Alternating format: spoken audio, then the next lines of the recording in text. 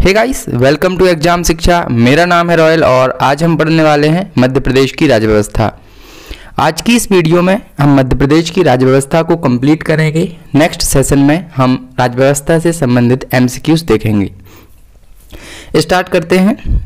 आज हमें देखना है मध्य प्रदेश में खुली जेल का कॉन्सेप्ट सर्वप्रथम 1973 में चंबल घाटी के बीहड़ों में रहने वाले ऐसे डकैतों, जिन्होंने आत्मसमर्पण किया था, उनके लिए यह खुली जेल का कॉन्सेप्ट शुरू किया गया था।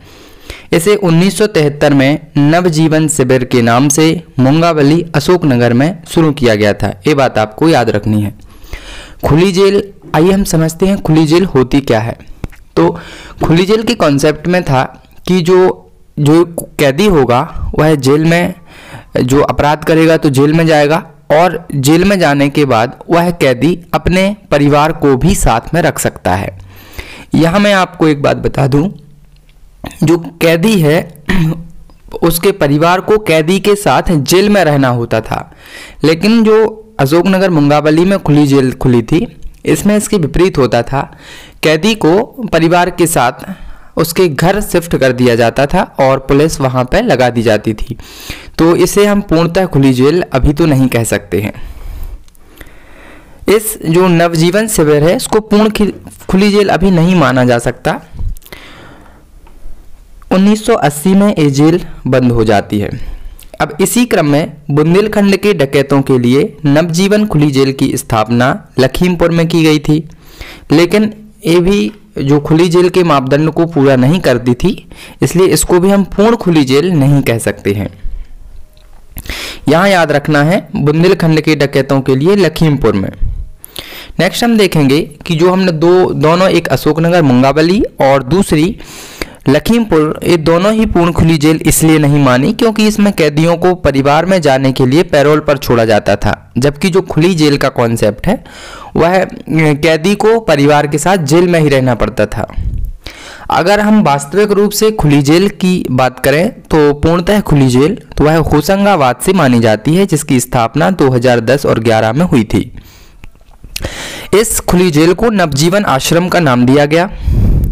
नेक्स्ट हम देखेंगे, वर्तमान में खुली जेलों की संख्या पहले पाँच थी, लेकिन 2020 में एक और बढ़ गई, भोपाल अब छः हो गई है।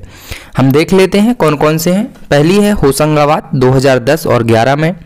दूसरी जबलपुर 2018 में, तीसरी सागर 2018 इंदौर 2018 में, सतना 2018 और हाल ही में भोपाल में 2019-20 में खुली जेल की स्थापना की गई। यहाँ खुली जेल के कॉन्सेप्ट को समझाया गया है कि खुली जेल के कैदी को अपने परिवार के साथ रहने मिलता है और वह आर्थिक गतिविधियों के लिए घर से बाहर जाने का अधिकार भी रखता है। विश्व की अगर हम बात करें तो विश्व में सर्वप्रथम स्विट्जरलैंड के विड्सविल में खुली जेल स्थापित की गई। अब विश्व के बाद अगर हम अपने भारत पर आते हैं तो भारत में 1905 में जब बंगाल विभाजन हुआ था, उस समय अंग्रेज़ी शासनकाल के दौरान मुंबई में खुली जेल स्थापित हुई थी। लेकिन अब 1910 में उसे बंद कर दिया गया था।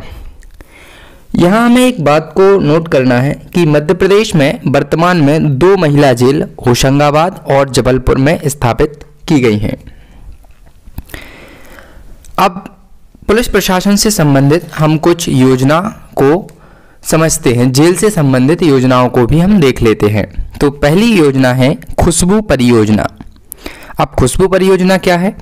तो इसकी शुरुआत केंद्रीय जो कारागार या जिसे हम सेंट्रल जेल कहते हैं, उसमें कैदियों के सामाजिक पुनर्वास और व्यक्तित्व सुधार के लिए, यानी उनका समाज में फिर से स्थान दिलाने के लिए, उनके क्राइम को कम करने के लिए और उनकी पर्सनालिटी को डेवलप करने के लिए की गई थी इसकी व्यवस्था, खुशबू परियोजना की स्थापना।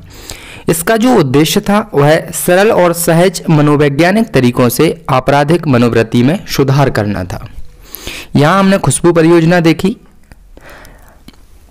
अब मध्य प्रदेश में पुलिस से संबंधित कुछ और हम परियोजनाओं की बात करते हैं। तो सबसे पहले आती है परिवार परामर्श केंद्र। हमारे मध्य प्रदेश में परिवार परामर्श केंद्र की संख्या नौ है और यह 1995 से स्थापना की गई थी इसकी। इसका जो उद्देश्य होता है वो पारिवारिक कलह और परिवार टूटने जैसी गतिविधियों को रोकने के लिए होता है। परिवार में कई छोटी छोटी समस्याएँ आती हैं, लेकिन कुछ समस्याएँ इतनी बड़ी हो जाती हैं कि वो परिवार को तोड़ने की नौबत आ जाती है। तो इसके लिए पुलिस द्वारा परिवार परामर्श केंद्र खोला गया है और ये 1995 से अभी भी कार्यरत है। दूसरी है, नगर सुरक्षा समिति। इसकी स्थापना 1999 में होती है। जो इसमें जो नागरिक होते हैं, वो स्थानीय गणमान्य नागरिक शामिल होते हैं। इसका उद्देश्य है शांति व्यवस्था बनाए रखना और आपराधिक गतिविधियों पर नियंत्रण रखना। इसके बाद हम देखते हैं ग्राम सुरक्षा समिति इसकी स्थापना 1999 में होती है और हमारे मध्य प्रदेश में 3,525 ग्राम सुरक्षा समिति अभी वर्तमान में कार्यरत हैं।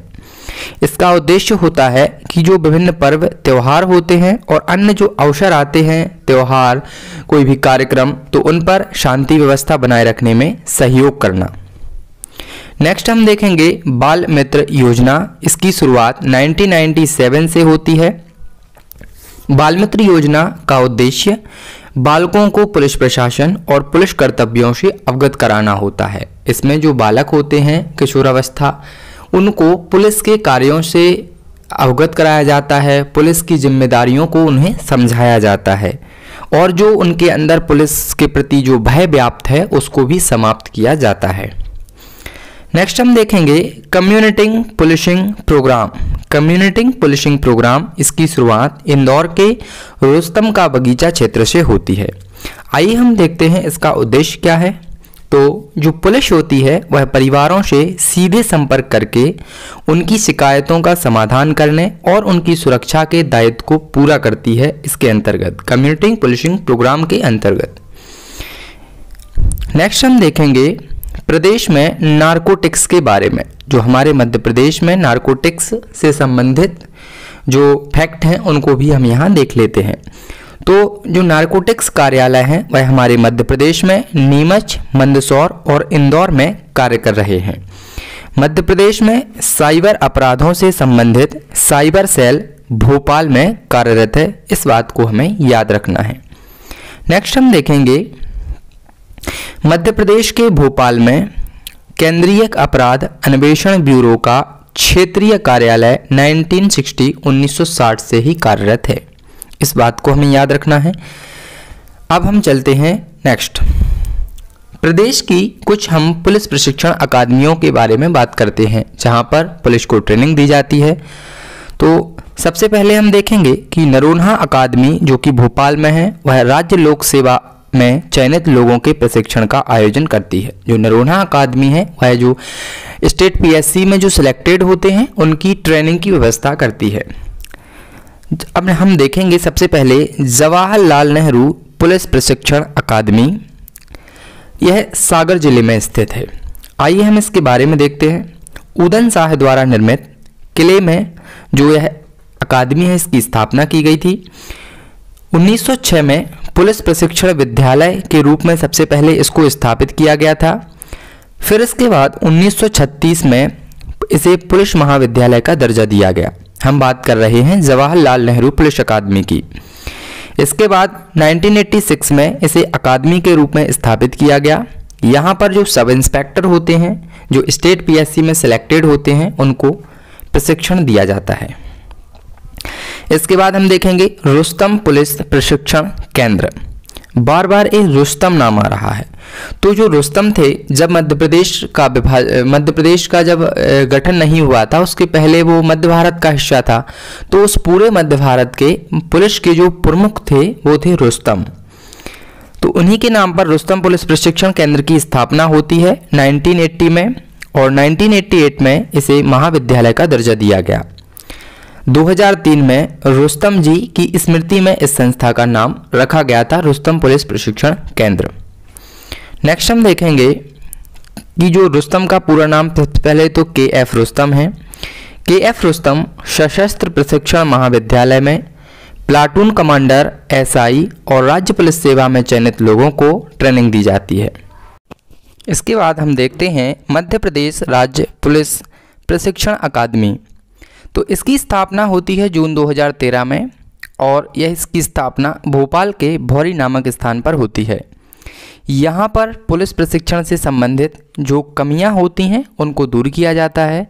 यहाँ पर state PSC, SI, platoon commander सभी की ट्रेनिंग होती है, जो अलग अलग अकेडमियों से सीख कर आए हैं और उनमें कुछ कमियाँ हैं, उन सभी की ट्रेनिंग यहाँ पर की जाती है। तो यहाँ तक हमने पढ़ा मध्य प्रदेश की राज्य व्यवस्था के बारे में। आज हमने मध्य प्रदेश की राज्य व्यवस्था को कंप्लीट किया। नेक्स्ट वीडियो में हम मध्य प्रदेश की राज्य व्यवस्था से संबंधित कुछ प्रश्न करेंगे। प्रीवियस ईयर पेपर में आए हुए क्वेश्चंस को सॉल्व करेंगे और हम नेक्स्ट टॉपिक को स्टार्ट करेंगे।